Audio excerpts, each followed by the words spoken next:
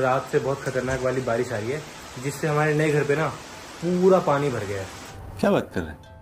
ये देखो नए घर के बाहर पूरा पानी भर गया यहाँ पे। भाई नए घर पे झरना बन गया देखो। क्या बात है? गाइज़ मेरे रूम में देखो पूरा पानी भर गया है।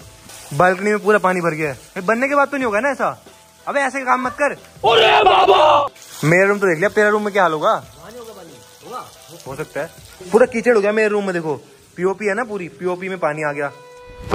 Emotional damn guys I think यहाँ से पानी निकलेगा। यहाँ पे है ना ये देखो। अब ये बंद कर रखा है इसलिए पानी भर रहा है यहाँ पे। गाइज़ बारिश की वजह से हमारे बहुत सारा नुकसान हो गया। हमारे बहुत सारे कट्टे भीग गए तो सारे खराब हो गए ले भाई स्टूडियो में पानी भरा है क्योंकि ये ऊपर से खुला है ना यहाँ पे सनरूफ आएगी हमारी। तो यहाँ से पानी आ गया पूरा नीचे।